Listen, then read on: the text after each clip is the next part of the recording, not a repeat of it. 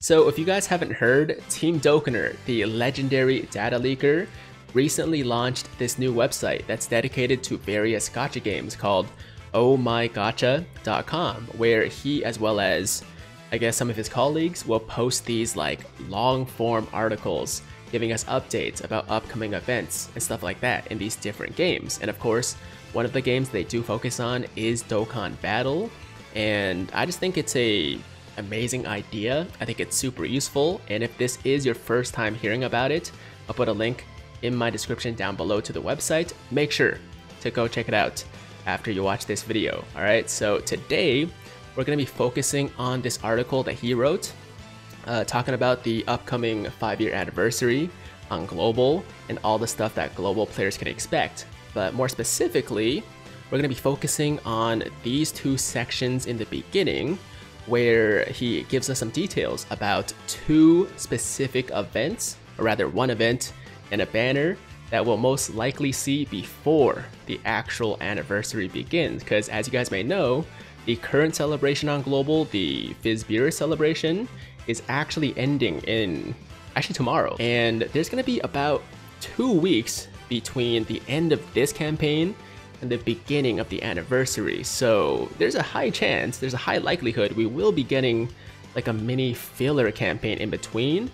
And uh, apparently, we're going to be getting a new Extreme Z Awakening, as well as a new legendary summon banner. As far as the uh, Extreme Z Awakening or Extreme Z Battle, it's going to be for the Int Future Super Saiyan Trunks.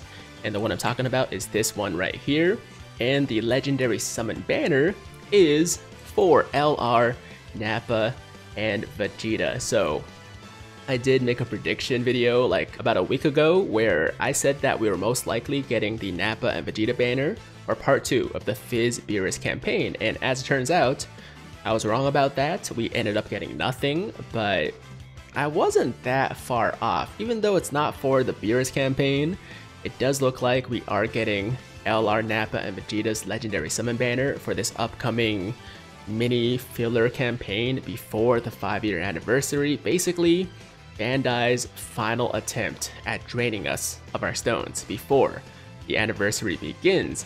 But I don't think it's going to be that effective because I think most people know that they should be saving their stones and most people are probably still going to skip this banner. Don't get me wrong, this is a good unit, but when you compare it to what we're getting next, like directly after this campaign, there's really no comparison, man. LR Blue Gogeta, LR Vegito Blue, as well as their insane banners, and also Int Rose after that, uh, Fizz, Broly, Cheelai, and Lemo, like, I mean, it's not even close. So my advice for most people, obviously, is to hold on to your stones for dear life. All right, do not spend too many, at least, if you are going to be summoning LR Nappa and Vegeta. And if you don't really want them that bad, then definitely skip, alright? But that's basically today's news update, guys. Alright, we got Nappa and Vegeta on the way.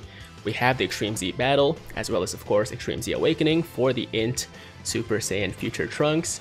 And uh, real quick, let me just go over his details for anybody that doesn't know. So after Extreme Z Awakening, he gets, uh, let's see, Leader Skill, Super Class Ki plus 3, HP Attack and Defense plus 100%, Super Attack, is immense damage and greatly lowers enemies' defense and raises super class allies' attack by 30% for one turn, and his passive changes STR Ki spheres.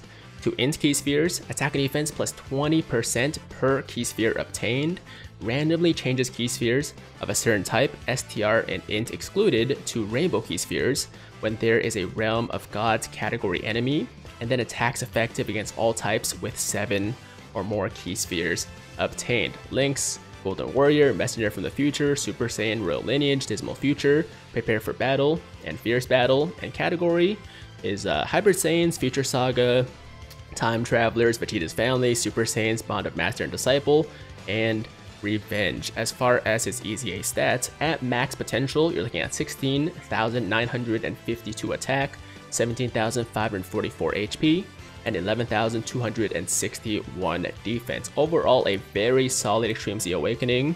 Um, he puts up some impressive numbers. Obviously, uh, can be a good defender if you get a good amount of orbs, and uh, has potential to do a lot of damage as well if you get 7 or more Ki spheres, which isn't too hard to do considering he has the ability to change his own spheres or Ki orbs, and uh, also can uh, create rainbow Ki spheres as well if you're facing a Realm of Gods enemy, which of course is not like, I mean, it's not like that uncommon, but obviously you're not always going to be getting that, so uh, this is a little bit of a niche uh, part of his passive, but overall a very good Extreme Z Awakening, and uh, if for nothing else, if you guys aren't excited for the EZA itself, you can expect 30-ish stones from the Extreme Z battle, which you can put towards the 5-year anniversary banners, right? So uh, that's today's update, guys. That's all I gotta say. We're getting two new things before the an actual anniversary begins. The Extreme Z Awakening, LR Vegeta Nappa banner, and also maybe, maybe a new World Tournament. Now I know I said that for the previous prediction as well and it didn't happen, but the fact still remains that it's been forever since the last World Tournament on Global. I think when I did my research, the last one was in March, right? And we're almost at the end of June. So it's been like three months, man.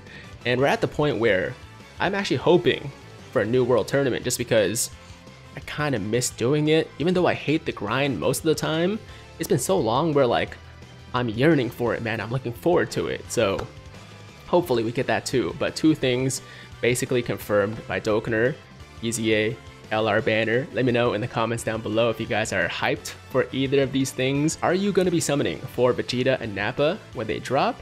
And if so, how many stones are you willing to spend? Alright, if you guys are going to be spending stones, make sure you set a very, very strict budget. Alright, and if you're gonna tell yourself, you know, I'm spending 200 stones, then just spend 200 stones and don't go beyond that no matter what happens. All right, trust me, you'll thank me for it later. All right, so that's it. Shout out to Team Dokkaner. Make sure to check out the Oh My Gacha website in my description down below. And uh, as always, if you liked today's video, then make sure to like the damn video. And if it's your first time watching me, first time to the channel, and you like what you see, then definitely hit that big red subscribe button to join the Tiger Squad now. And while you're at it, hit that notification bell too, so that YouTube knows you want to stay up to date with all my latest content. And that's it. I'm out of here. Until next time, hope you guys have a fantastic, fantastic day. I'm Tiger with Tiger Uppercut Media, signing out.